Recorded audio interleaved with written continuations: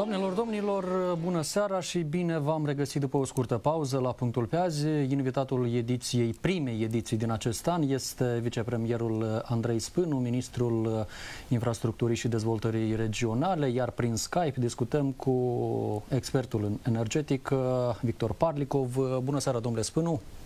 Bună seara, la mulți ani și bine v-am găsit! Bine ați revenit la TVR Moldova. Domnule Parlicov, bună seara și dumneavoastră!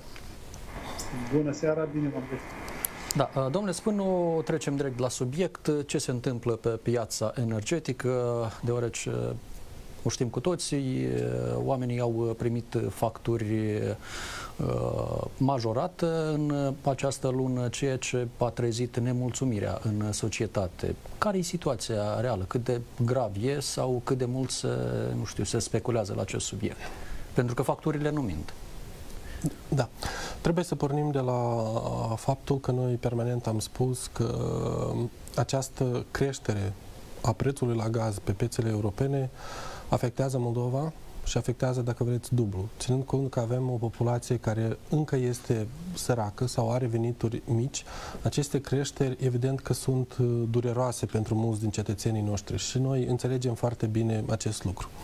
Evident că în uh, luna noiembrie noi am venit cu acel pachet de, uh, de suport din partea statului pentru primii 50 de metri cub, pentru următorii 100, inclusiv cu cei 700 de lei pe lună pentru păturile mm, social vulnerabile care pot să-i folosească pentru achitarea facturii la gaz sau orice alt tip de combustibil uh, uh, pentru a fi utilizat în perioada rece anului. Uh, Totuși vedem că uh, consumul în decembrie pentru mulți din cetățenii noștri a fost destul de mare, ceea ce a dus și la aceste uh, uh facturi ridicate. Noi înțelegem uh, acea nemulțumire.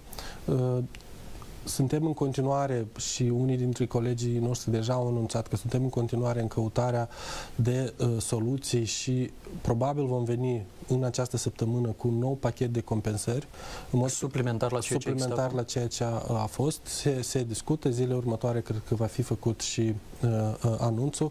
Uh, în mod special am văzut că este o problemă cu cei care se încălzesc la sistemele centralizate. M-am văzut facturi mari care sunt la pensionari, spre exemplu, din Chișinău, Bălți, care sunt conectate fie la termoelectrica, fie la CET Nord și în acest sens ne dorim să venim cu un suport suplimentar pe, pentru aceste categorii. De asemenea, vom vedea dacă va crește sau nu tariful la gaz, pentru că spuneam că după 20, când vom ști care va fi prețul de achiziție a gazului pentru luna februarie, va fi un pic mai clar dacă este nevoie să intervenim și cât de mult, în funcție de noul tarif, dacă va, uh, va crește. Dar compensații cu siguranță vor fi suplimentare. Da, cu siguranță vor fi uh, compensații, cel puțin pentru, uh, deci deja decizia este luată cel puțin pentru cei care sunt conectați la sistemele centralizate de, de încălzire. Vedem deja în funcție de tarif ce facem și cu un ajutor suplimentar pentru, în factură pentru cei care consumă gaz. Uh, de asemenea, eu cred că ce se întâmplă acum pe piața, pe piața gazelor la nivel european trebuie să fie și un semnal pentru noi toți, inclusiv pentru noi ca și guvernare, că e nevoie să investim mai mult în sisteme de eficiență energetică, să reducem consumul, pentru că acest exercițiu, dacă vreți, de publicare a facturilor a scos în evidență niște situații destul de uh, interesante am, am, am văzut situații când același apartament cu același suprafață da, a primit o factură mult mai mare decât un alt apartament cu o suprafață similară. Pentru că probabil clădirea nu era suficient de izolată, nu erau pus termostat sau alte instrumente care să reducă consumul.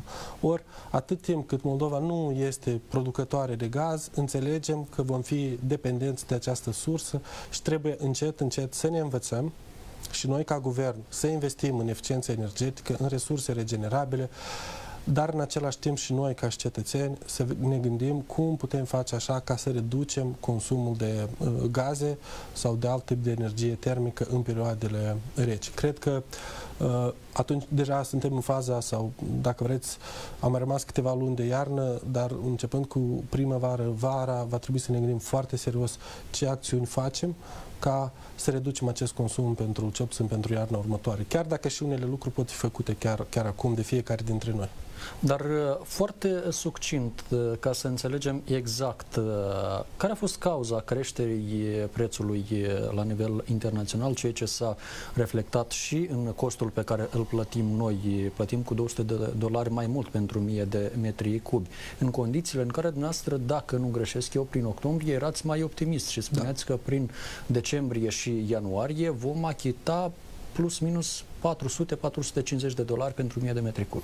Da, este, este adevărat. Uh, atunci când uh, s-a semnat contractul la sfârșit de octombrie, chiar la prima conferință de presă am menționat că am putea să ne așteptăm și la prețuri chiar de sub 400 de dolari, conform formulei pe care o avem uh, din simplu motiv că atunci când ne uitam pe piață și dacă vă aduceți aminte, la final de luna octombrie am avut preț uh, de achiziție pe pețele europene a gazului de sub 800 de dolari. Au fost la un moment dat 770 sau chiar mai puțin. Păi dacă acea tendință care s-a ținut până în primele 10 zile ale lunii noiembrie se menținea în continuare, deci exact avea ce să, să fie ceea ce spuneam și, și eu. Și chiar dacă nu s-a menționat, dar a fost un pic în creștere, totuși am avut uh, uh preț de achiziție de 480 și în decembrie de 450 de, de dolari pentru 1000 de metri cubi. Ceea ce s-a întâmplat în decembrie, în mod special în a doua jumătate a lunii decembrie, a fost inexplicabil. Pentru că am avut o zile în care prețul la gaze era de 2800 de dolari. 2800 de dolari pe piețele europene. Uh, în luna octombrie, când de fapt noi am fost, sau prima lună când am simțit această criză, prețul maxim în luna octombrie pe piețele europene era de 1800. Deci în decembrie am avut 2800. Deci reșind din acest, uh, această creștere spun unii pentru că s-a răcit în perioada la nivel european, a fost o perioadă mai rece din anumite acțiuni ale Gazprom la nivel european. Deci este greu acum noi ca să, să ne dăm cu opinia sau să spunem exact care a fost, pentru că piața este piață. Uh, dar această creștere care a avut loc pe piețele europene a prețului la gaz în a doua jumătate a lunii decembrie au făcut ca și prețul de achiziție pentru Moldova în luna ianuarie să fie de 647 de dolari, deci cu aproximativ 200 de dolari mai mult decât în, în decembrie. În continuare, insistați pe ideea că acel contract care a fost negociat și încheiat cu cei de la Gazprom este unul bunicel pentru Republica Moldova? Cu siguranță. Deci, cu siguranță, acel contract este un uh, contract uh, bun, în mod special atunci când vorbim de prețul de achiziție a gazului. În mod special. Pentru că prețul mediu de achiziție a gazului uh, pe piață în luna decembrie a fost de 1300 și ceva de dolari pe 1000 de metri cub. Noi îl cumpărăm cu 647, deci este de cu 54%, dacă nu greșesc, mai, uh, mai ieftin. Uh, în rest, toate celelalte condiții contractuale sunt, de fapt, condiții contractuale vechi, care erau și în contractele precedente mm, pe care le avea Moldova Gaz cu Gazprom. Eu am spus și într-o altă emisiune că mi-aș fi dorit ca uh, guvernele precedente să negocieze un contract pe termen lung cu Gazprom atunci când prețul gazului era 100 de dolari. Da. Și evident că Uh, atunci când negociezi, când prețul gazului pe piețele europene este 100 de dolari, este o situație. Și este altfel când uh, duci negocieri, când prețul gazului este 1200 sau 1800 de, uh, de dolari. Din păcate, noi când am ajuns la guvernare, era practic ultima lună când expira contractul vechi. Bine, unii vă reproșează că nu v-ați apucat mai devreme să negociați cu rușii. Noi ne-am, eu nu, asta nu este adevărat, noi ne-am apucat să discutăm mai devreme cu, cu rușii, dar dacă unii cred că uh, cineva face exact cum vrem noi, uh, ar trebui să se mai gândească un pic. Da, dezvoltăm un pic uh, mai târziu ceea ce spuneați dumneavoastră, dacă cineva crede că e așa cum vrem noi, dar, uh, domnule Parcov, pentru început v-aș întreba pe dumneavoastră în ce măsură considerați dumneavoastră că acest contract negociat uh, de Republica Moldova este unul uh, bun pentru Republica Moldova, așa cum susține vicepremierul Andrei Spânu. Și aici aș vrea să vorbim prin comparații. Să ne oferiți exemplul statelor din regiune. De ce nu chiar situația la nivel european? Pentru că să devină mai clare lucrurile atunci când vorbim prin comparații.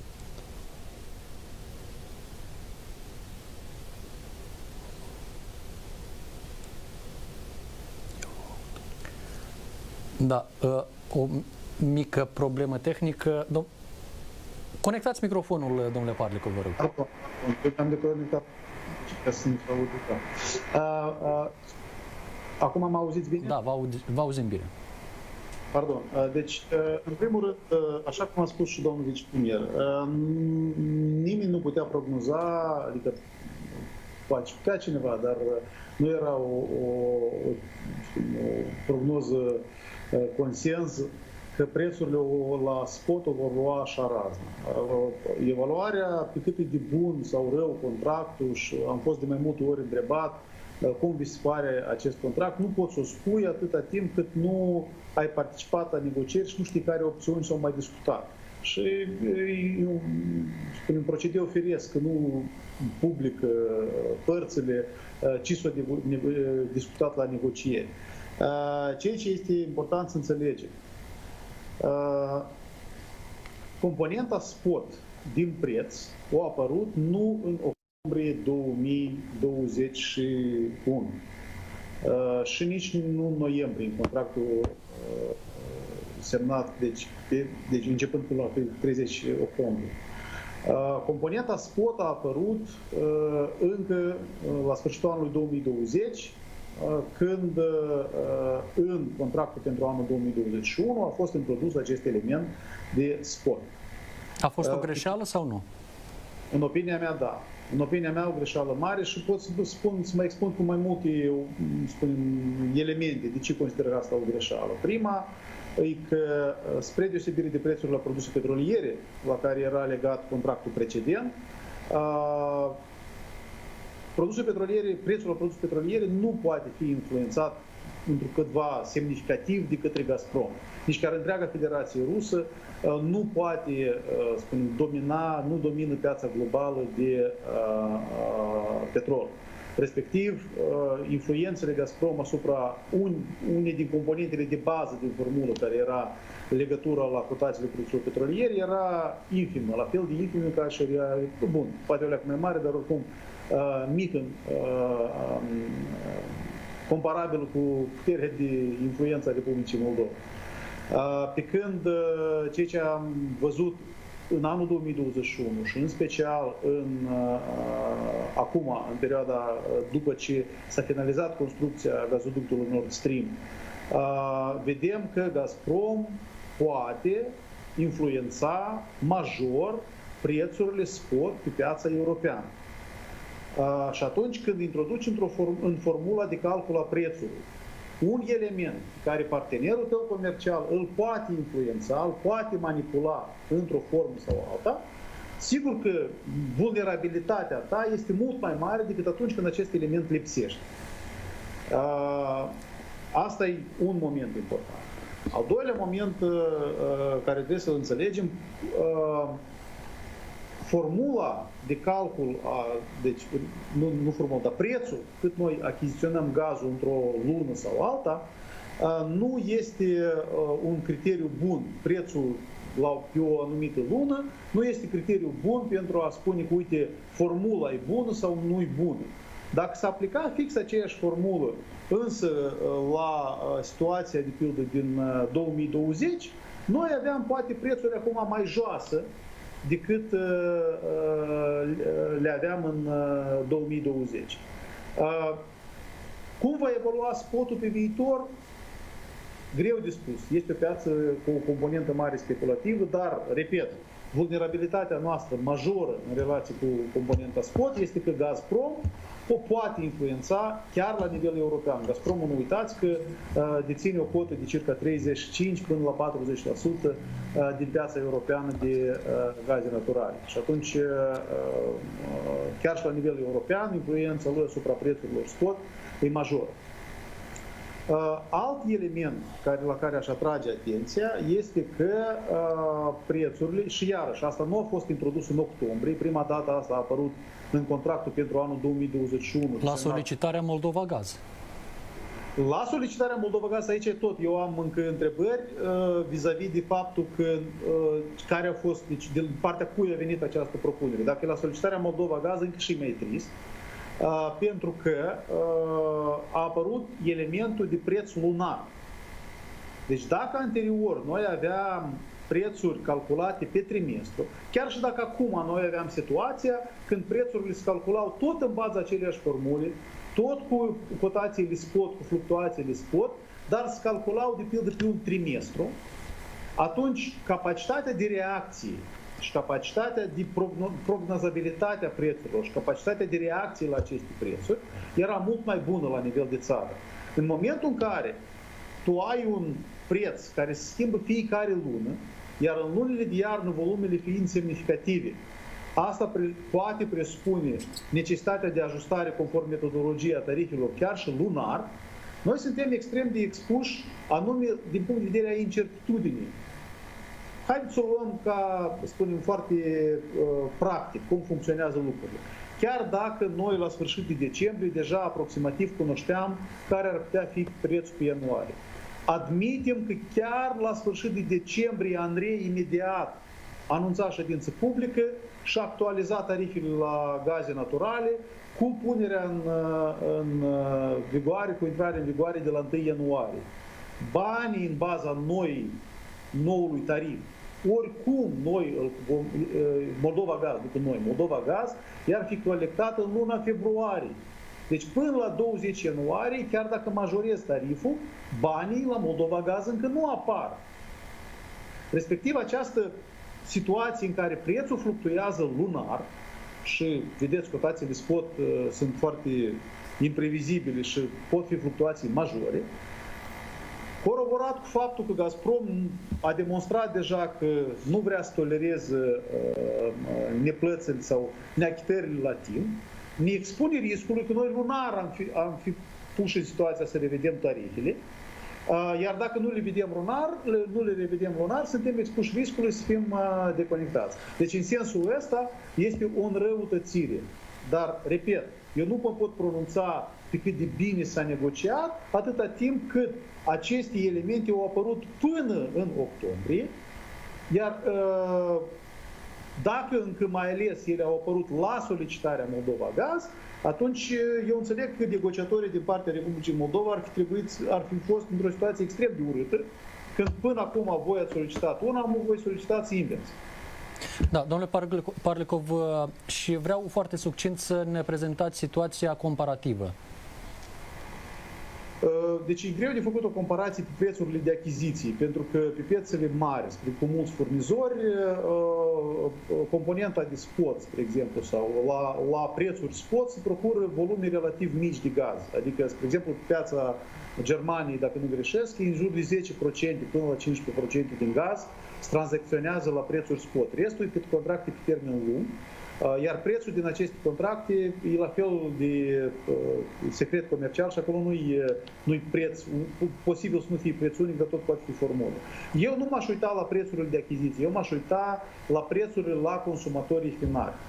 Uh, ori aici, Republica Moldova, chiar dacă achiziționează gaz la preț mai mare decât uh, o bună parte din țările uh, europene, deși aici tot trebuie de verificat, tarifele la gaze la noi sunt mai mici decât în majoritatea, deci costurile gazelor pentru consumatorii finali, la noi sunt mai mici decât în majoritatea țărilor. Da, dacă acum vor fi revizuite tarifele la noi de vreo câteva ori, vor fi nevoiți sub uh, presiunea spotului, uh, iar în Uniunea Europeană prețurile vor fi echilibrate de volumele care merg pe, uh, pe contractele pe termen lung, am putea ajunge la nivel uh, comparabil, deși nu cred, cel puțin cu Germania, precis când ajungem la nivel comparabil, uh, sau cu Danemarca, spre exemplu.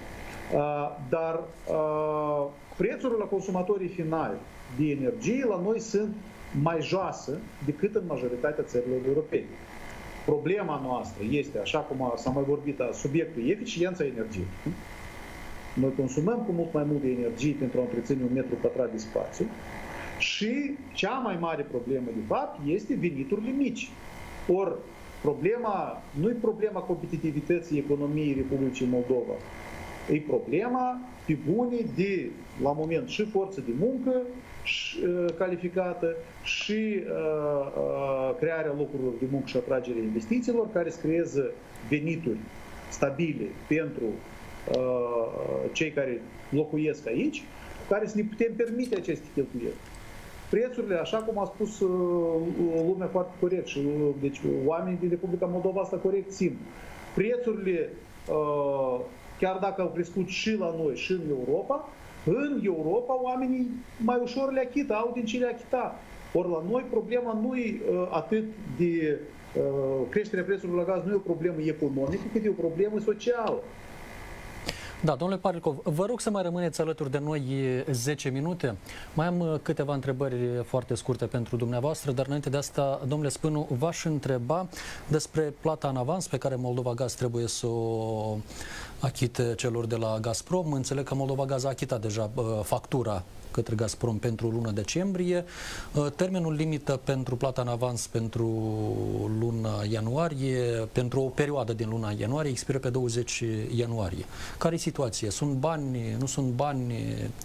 Deci, cum uh, Moldova Gaz deja a comunicat și prin informațiile care deja sunt cunoscute, Moldova Gaz a început, de fapt, să achite acest uh, avans. Cel mai probabil uh, suma care nu va fi suficientă până pe 20 sau nu o vor putea colecta Moldova Gaz până pe data de 20 este între 25 și 30-32 de milioane de, de dolari. Dar urmează Moldova Gaz să se expună, să comunice în zilele următoare, presupune exact care va fi. Și ce se întâmplă dacă Moldova Gaz nu identifică acești bani? Care va fi rolul uh, guvernului, de exemplu? Se va implica într-un fel sau altul?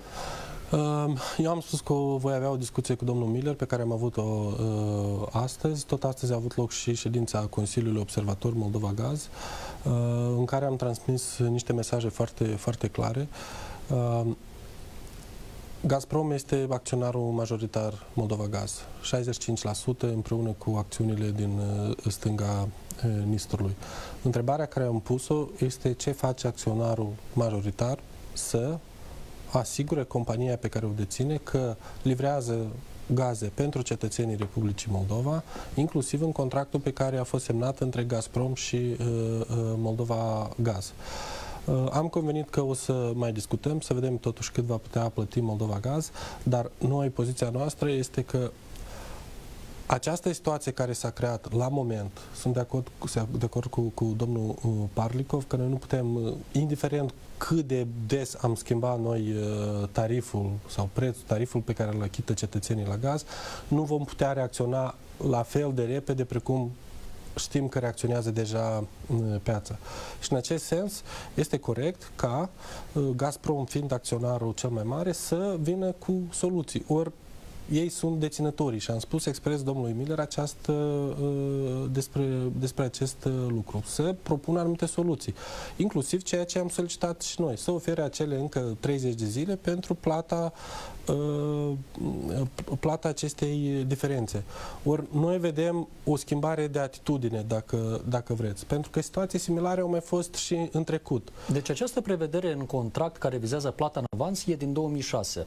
Uh, întrebarea da. mea e, până acum, timp de 15 ani, uh, Gazpromul a, a recurs la această prevedere contractuală, a solicitat plăți în avans sau nu? Pentru nu, că, nu din, câte țin minte eu, din câte țin minte, Moldova Gaz nu a achitat în mare parte. Era, e de acord. Deci, ă, această schimbare de atitudine, că uite, vă dăm 48 de ore sau asta este, s-a produs recent și am spus de mai multe ori, inclusiv în comunicarea cu cei de la Gazprom, că este regretabil.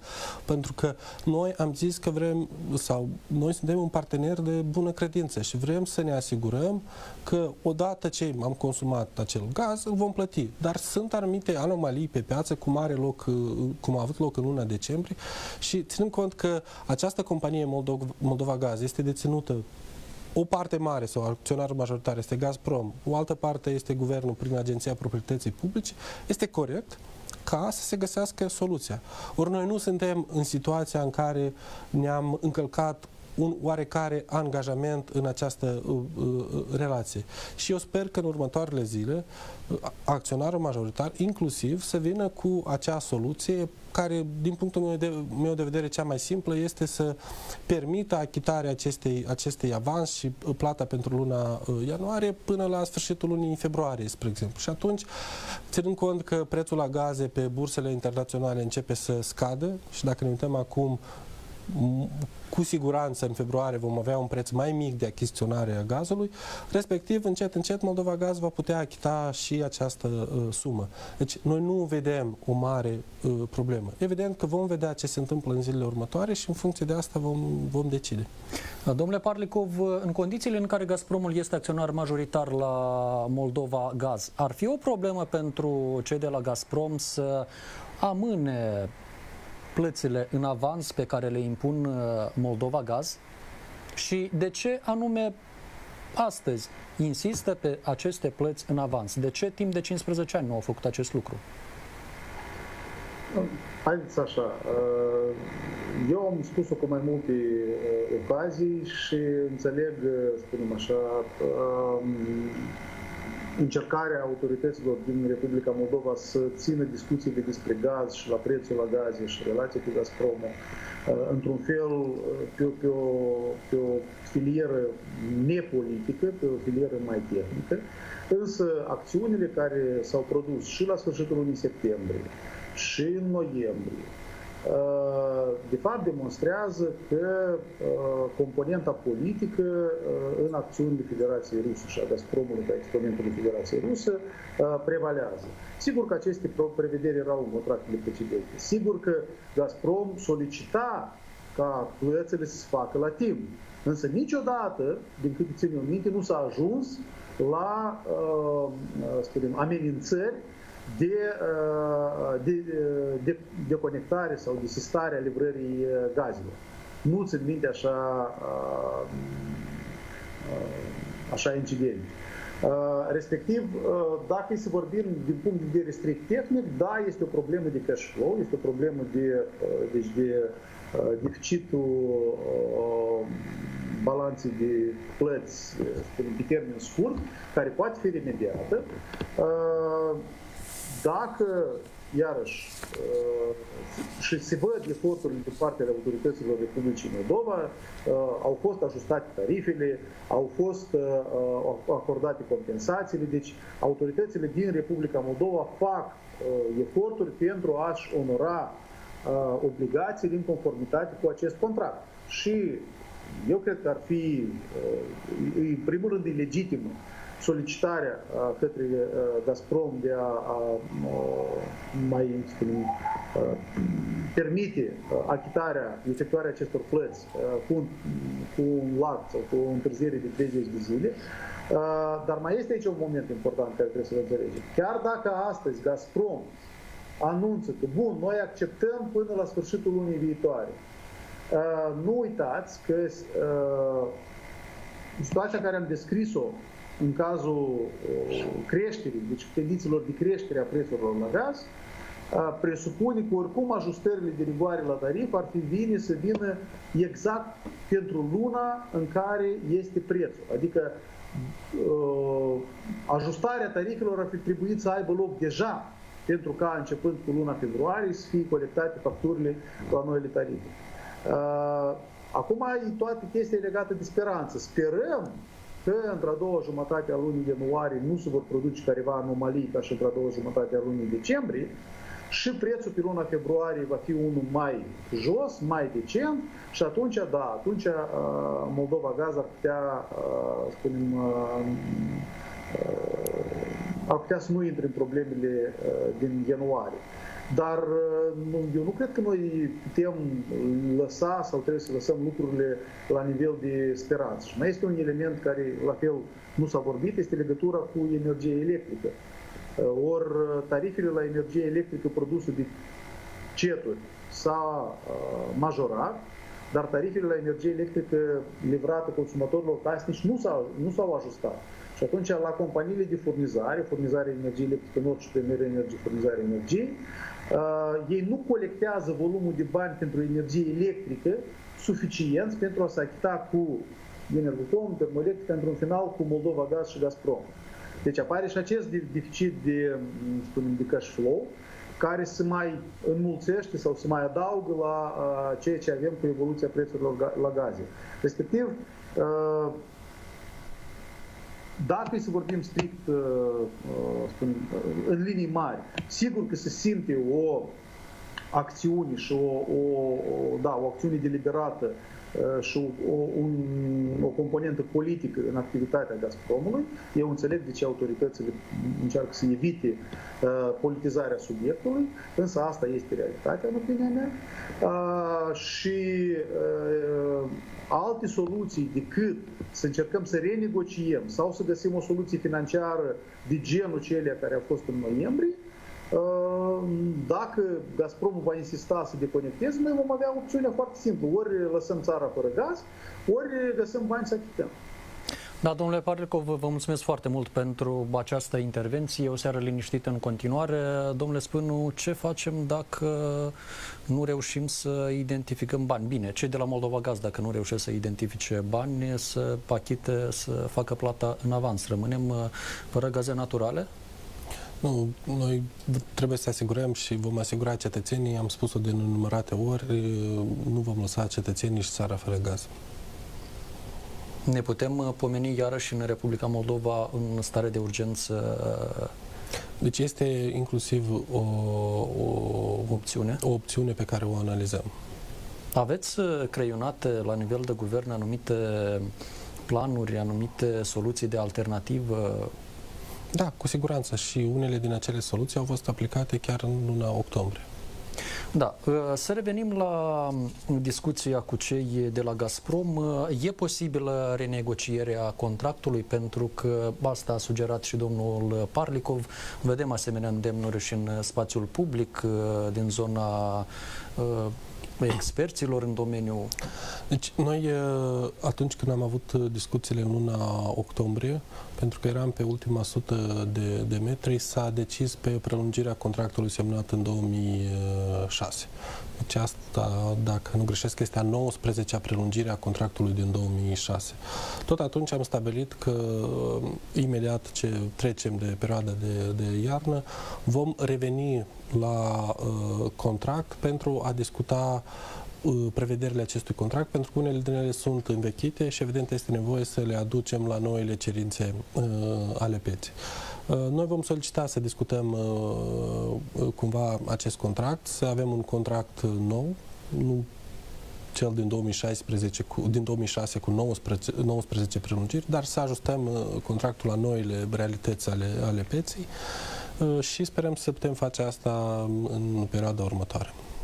Când credeți că s-ar putea întâmpla acest Eu cred că este realist să, să discutăm în perioada primăverii, în care să începem uh, uh, discuțiile. Și apropo, să știți că asta a fost și solicitarea celor de la Gazprom, care au zis că e momentul, ținând cont că deja e un model de contract învechit, să, să revenim.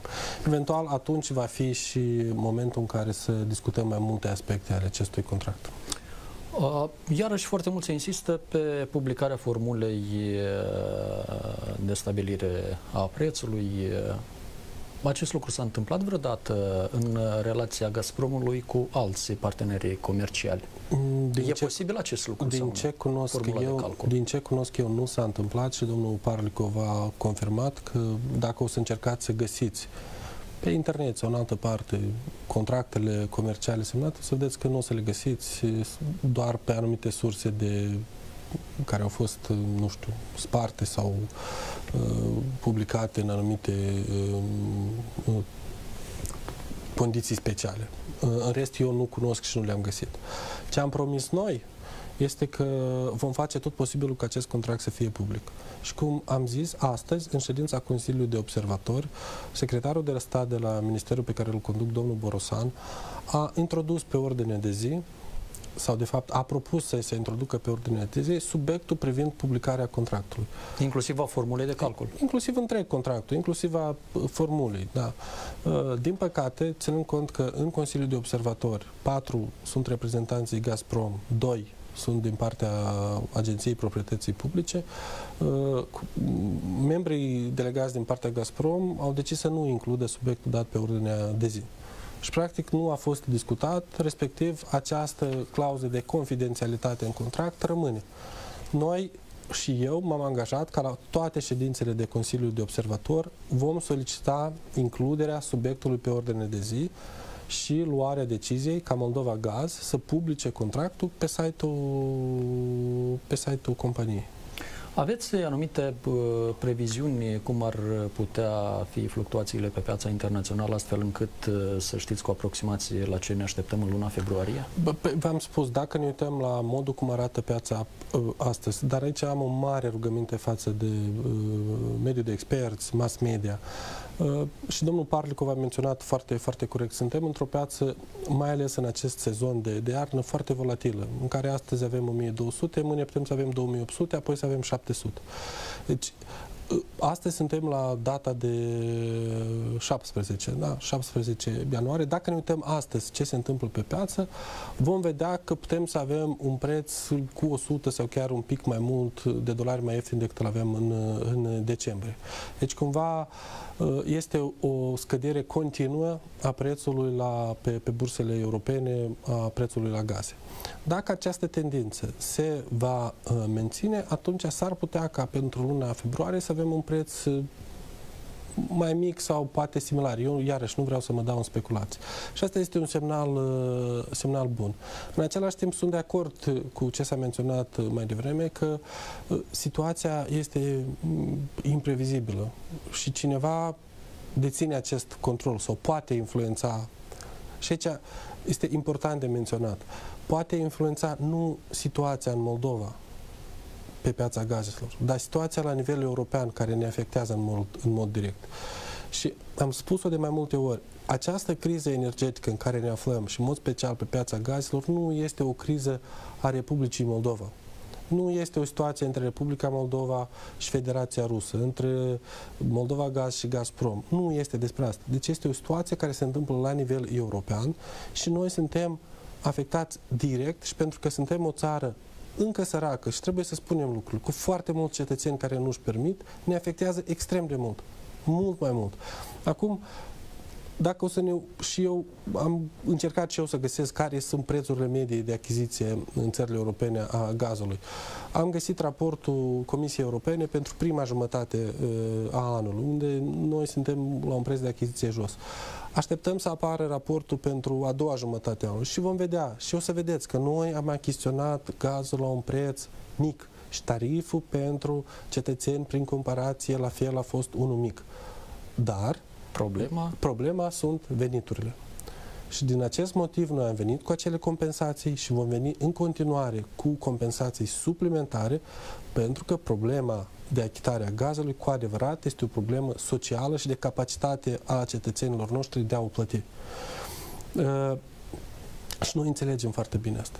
Am citit și noi toate supărările, nemulțumirile, înțelegem. Dar vom face tot posibilul ca să fim cât mai aproape de oameni. Da. Uh, Există un punct în acea anexă care a fost semnată la anexă a contractului încheiat cu Gazprom. Până la 1 mai, Moldova Gaz și Gazprom urmează să semneze un acord de reglementare a datoriei Moldova Gaz pentru un termen de 5 ani. Uh, se lucrează la acel acord deja? Uh, nu se lucrează la acord propriu-zis, pentru că nu este o anexă, dar vorbim de protocolul care a fost de protocolul, pardon. Uh, semnat. Da. În primul rând, în protocol s-a semnat o clauză că Republica Moldova va organiza un audit independent al datoriei, pentru că fără acest audit independent nu putem vorbi de reglementarea situației cu datoriile istorice. Deci după ce vom avea acel audit? Cu siguranță, cu siguranță. Acum, la sfârșitul lunii decembrie a fost aprobată o hotărâre de guvern care prevede mecanismul prin care acest audit va fi realizat și responsabil de realizarea auditului este Agenția Proprietății Publice, care de fapt este și acționar în cadrul uh, companiei Moldova uh, Gaz. Uh, din informația pe care o cunosc, a fost creat grupul de, de lucru, s-a lucrat la caietul de sarcini.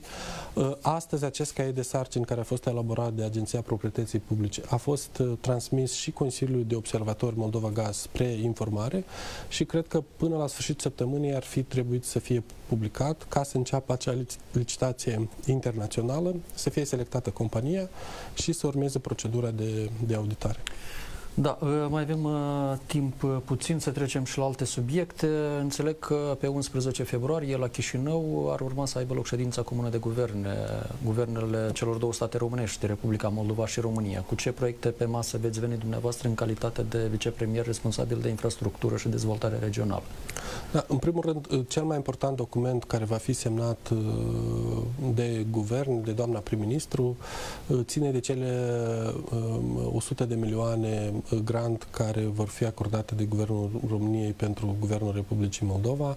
Deci, practic, acesta este evenimentul de, de, de bază. Tot după semnarea acelui uh, uh, document va fi mai clar care sunt domeniile de intervenție și unde vor fi alocați banii.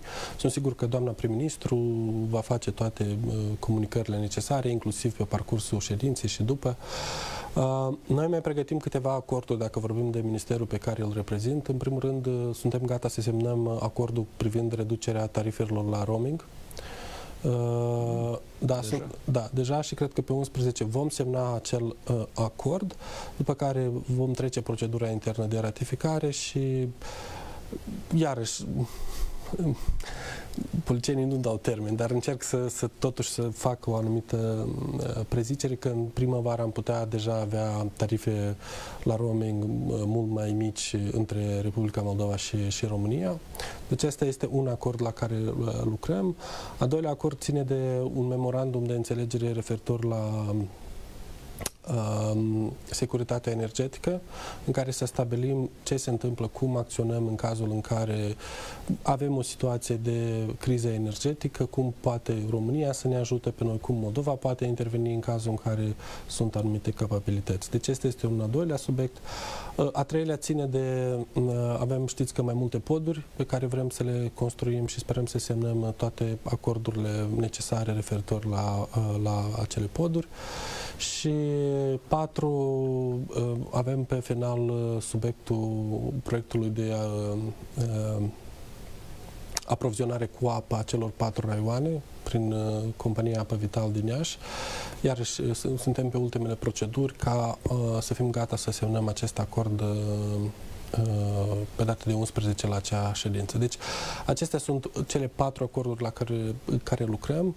Uh, cred că... Și care vor avea impact direct asupra exact, cetățeanului. Exact, în, în mod special al cuvântului. În mod special ce ține de, de roaming, ori uh, Știți că este o promisiune veche și noi cred că uh, în această jumătate de an de când suntem, practic am adus-o la, ultima, la ultimul pas. Uh, și dacă zic primăvară, hai să, să fiu un pic pesimist, cu siguranță la anul uh, cetățenii noștri vor comunica mult mai ieftin și vor avea acces la servicii mobile mult mai ieftine când vor merge în România. Da, eu rămân optimist și sper că acest lucru se va întâmpla la primăvară, dar cum decurg lucrările în cazul uh, construcției, interconectării electrice de înaltă tensiune? Lucrările, la moment sunt, au loc lucrările de proiectare, Uh, compania care a câștigat uh, se ocupă de, de, de, de proiectare. Noi, la nivel de guvern, vom promova legea privind declararea de utilitate publică a acestui proiect, ca lucrurile să meargă mai, mai repede. Uh, anul 2022 va fi mm, concentrat mai mult pe proiectarea întregii linii și în 2023 ar trebui, 2023-2024 ar trebui să înceapă lucrările propriu de construcție și de instalare a stâlpilor, liniilor și așa mai departe. Deocamdată nu există probleme la... Deocamdată nu există uh, uh, probleme. Știm că este un subiect de interes larg, inclusiv și pentru uh, România și pentru Republica Moldova. Eu am promis că pe proiectele mari, strategice de infrastructură, voi comunica ori de câte ori va fi nevoie. Uh, la moment asta este uh, situația. Uh, Cătălin Buluc din Galați uh, m-a rugat să vă întreb uh, când va exista un drum modernizat la standarde europene care va lega Galațiul prin Giurgiulești de Chișinău, pentru că acest traseu Giurgiulești-Vulcănești ar fi într-o stare deplorabilă. Eu personal nu, nu l-am văzut și uh, cetățenii români din dreapta Prutului, când decid să vină la Chișinău, când parcurg acest, uh, acest drum, ulterior evită să mai meargă pe el. Deci, unele, unele porțiuni deja din acest drum se, se reconstruiesc. Uh, deci, din uh, uh, planurile care sunt, în următorii trei, trei ani ar trebui să fie finalizată toată această porțiune de, de drum. Și aș vrea să vorbim, pentru că iarăși e un subiect foarte important, în special vizează autoritățile publice locale, cetățenii care locuiesc în localitățile rurale din Republica Moldova. A fost aprobat acel fond pentru Fond Național pentru Dezvoltare Regională și Rurală, dacă nu greșesc. E vorba despre 46 de proiecte de dezvoltare regională care va fi, vor fi implementate în următorii trei ani. Ce presupune, ce presupun aceste proiecte, în ce domenii uh, și cine exact vor beneficia de aceste finanțări? Uh, deci, Fondul Național de Dezvoltare Regională și Locală are două uh, sau două uh, direcții de finanțare. Pe de o parte, vom finanța proiecte de dezvoltare regională care au un impact regional și care sunt de obicei mult mai mari și ca, ca, ca, ca sume de bani. Uh, și componenta a doua ține de finanțarea proiectelor de dezvoltare locală, adică în sate, comune. Noi vom face, la moment discutăm să facem divizarea în aceste două tipuri de proiecte la limita, celor, la limita de 10 milioane, deci toate proiectele care sunt sub 10 milioane de, de lei vor fi bugete de dezvoltare locală. Tot ce este peste 10 milioane vor fi proiecte de dezvoltare regionale și le vom gândi așa ca să uh, uh, ajute, la dez, ajute la dezvoltarea infrastructurii regionale. Cele 46 de proiecte țin de dezvoltare regională. Uh, perioada de selecție a acestor proiecte este din anul 2020, deci noi uh, am grăbit în această toamnă ca să trecem toate procedurile și la început de anul 2022 să înceapă propriu aceste proiecte. Sunt 46 de proiecte diferite, deci uh, practic de la nord la sud, de la vest la est, cam toate regiunile vor beneficia echilibrat de suport uh, financiar. În anul 2022, din Fondul Național de Dezvoltare Regională și Locală vor fi alocați aproximativ 250-300 de milioane de lei pentru aceste proiecte, deci absolut toate proiectele vor, vor, începe, vor începe. Vorbim de proiecte de uh, canalizare, de apeduct, de revitalizare urbană, de amenajare de parcuri, de construcție de uh, hale de expoziție. Am fost la Soroca, la Soroca va fi reabilitat uh, incubatorul de afaceri pentru tineri. S-au alocat 11 milioane în acest uh, sens. Uh, deci sunt proiecte uh, foarte, foarte importante. La Cahul se vor finanța uh, conectarea la 12 sau 13 localități la apeduct. Inclusiv se va finanța parte din construcția infrastructurii de apeduct pentru proiectul Apă Vital. Deci Apă Vital va trece prutul, iar noi vom construi infrastructura pe, pe teritoriul Republicii Moldova. Uh, deci asta ce ține, dar noi am făcut publică toată, toate cele 46 de, de proiecte care pot fi uh, văzute și îmi propun ca, uh, odată cu inițierea lor, să monitorizăm foarte strict ca toate să fie făcute în timp. Ori știți foarte bine că una din problemele mari este că lansăm proiecte, dar de multe ori nu avem capacitate să le ducem până la capăt. Iar pentru dezvoltarea locală ne propunem ca la 1 martie să lansăm concursul pentru primării. Vorbim de o sumă de 500 de milioane de, de lei primăriile vor avea uh, o lună de zile ca să aplice proiectele uh, lor. Vom selecta aceste proiecte și vom finanța direct. Deci, practic, primăriile vor primi direct banii pentru proiecte ca până la final de an să reușească să implementeze acele proiecte de până la 10 uh, milioane. Aici vorbim de, uh, în primul rând, uh, de uh, obiecte sociale, de exemplu, dacă vor să facă o reparație la școală, grădiniță, să construiască un teren de joacă, uh, inclusiv să facă rețele de apeducte sau să repare anumite porțiuni de drum. Deci este uh, foarte, foarte larg. Uh, programul ăsta, de fapt, este promisiunea doamnei președinte Maia Sandu, satul european, în care noi am promis că vom aloca 2 miliarde de lei anual sau vom, vom uh, uh, organiza un fond de 2 miliarde de lei anual pentru dezvoltarea localităților. Anul acesta avem 800 de milioane, în acest concept de satul european. Avem deja mai multă susținere de la parteneri europeni și cred că în următorii ani vom ajunge la acel obiectiv de 2 miliarde de lei alocate pentru primării. Pentru noi este important ca noi să uh, uh, venim cu acel suport pentru uh, primării, astfel ca ele singure să-și poată dezvolta infrastructura. Uh, la fel am făcut și cu drumurile. Ori noi am realocat cele 50% din fonduri tier, din taxa care este achitată pentru drumuri, să se ducă direct în bugetul primărilor. Asta înseamnă încă 400 de, de milioane. Dacă vreți, cele 800 plus 400 de milioane care au fost alocate, deja vorbim de un buget de 1 miliard 200 de milioane, ceea ce cred că nu a fost niciodată în, în Republica Moldova. Deci noi am promis acest lucru și eu sunt sigur că în următorii ani vom ajunge poate chiar la mai mult de 2 miliarde. Dar uh, dacă tot am vorbit în mare parte uh, în timpul acestei emisiuni despre energie, securitatea energetică în general, uh, în ce măsură credeți că va fi posibil ca în localitățile rurale din Republica Moldova să se investească mai mult, inclusiv în domenii care vizează asigurarea securității energetice, energie verde, de exemplu? Există deja, ați statonat terenul, terenul există și un potențial sprijin din partea partenerilor noștri europeni? Da, apropo, tot în acest fond național de dezvoltare regională și locală, noi am inclus și proiectele de eficiență energetică, pentru că era și fondul de eficiență energetică de 30 de milioane. Deci noi vom încuraja, în primul rând, primările să investească în eficiență energetică. Ori este dacă vreți, cum ați menționat de fapt, că avem școli, grădinițe care cheltuie prea mult pe energie din simplu motiv probabil că nu au izolarea clădirilor sau nu au fereste, termopan de, de calitate sau acoperișul nu este făcut. Deci noi trebuie să investim în aceste uh, proiecte. Pe partea de uh, energie verde, Uh, cu siguranță ori noi am aprobat acele cote pe care vrem să le atingem în următorii 5 ani, în care să creștem rata uh, energiei verde de la 3% cât este acum până la 30% uh, și cred că anul acesta va fi anul în care vom lansa și anumite proiecte sau vom lansa anumite licitații ca uh, investitorii să poată uh, participa la astfel de, de proiecte și să uh, investească. Suntem în discuții cu Banca Mondială. Săptămâna trecută am avut uh, o, o discuție la acest subiect care ne va ajuta să organizăm acest proces astfel ca să avem cele mai bune proiecte.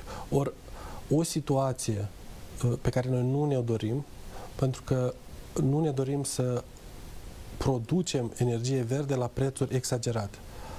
Pentru că o energie verde la prețuri exagerate ar crește costul general al energiei pentru cetățeni.